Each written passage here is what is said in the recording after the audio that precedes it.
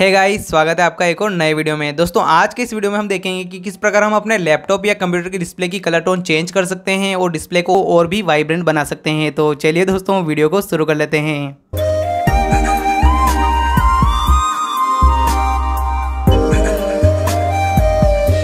दोस्तों, वीडियो में हम दो तरीकों को जानेंगे। पहले वाले तरीके से हम आरजीबी को तो सेट कर ही सकते हैं, साथ में सेचुरेशन को भी कम या ज़्यादा कर सकते हैं। अब चलिए दोस्तों देख लेते हैं पहले वाले तरीके को। इसके लिए दोस्तों, हमें अपने माउस के राइट बटन को क्लिक करना है और इसके बाद यहाँ नीचे ये जो ग्राफिक्स प्रॉपर्टीज़ है, इसे डबल क्लिक करके ओपन करना है। ओपन करने के बाद जनरल सेटिंग्स में जाना है।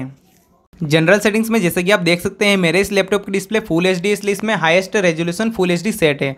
आपके पीसी में ये कम या ज़्यादा हो सकती है, आपको इसमें हाईएस्ट अवेलेबल रेजोल्यूशन सेट रखना है और इसी प्रकार रिफ्रेश रेट भी हाईएस्ट सेट रखना है। अब कलर सेटिंग्स में, यहाँ आप देख सकते हैं रेड ग्रीन ब्लू तीनों कलर यहाँ शो हो रहे हैं। हमें रेड और ब्लू कलर को एज इट इज़ रहने देना है और ग्रीन कलर को थोड़ा कम करना है। इसे 47 कर देते हैं। दोस्तों, जैसे कि आपने देखा, हमने जैसे ही ग्रीन कलर को 47 किया, हमारे डिस्प्ले में जो येलो टोन थी, वो अब नेचुरल हो गई है। अब इसके बाद, दोस्तों, हमें एडवांस में जाना है और सेकंड नंबर पे ये जो सेचुरेशन है, इसे 10 के आसपास बढ़ा देना है। इससे हमारे डिस्प्ले के जो कलर्स हैं, वो वाइब्रेंट हो जाएँगे और हमारी डिस्प्ले एकदम शानदार लगेगी। अब सारी सेटिंग्स हो जाने के बाद इसे अप्लाई कर देना है।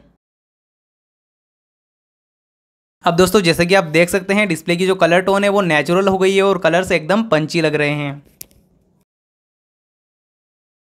अब चलिए दोस्तों देख लेते हैं दूसरे तरीके को।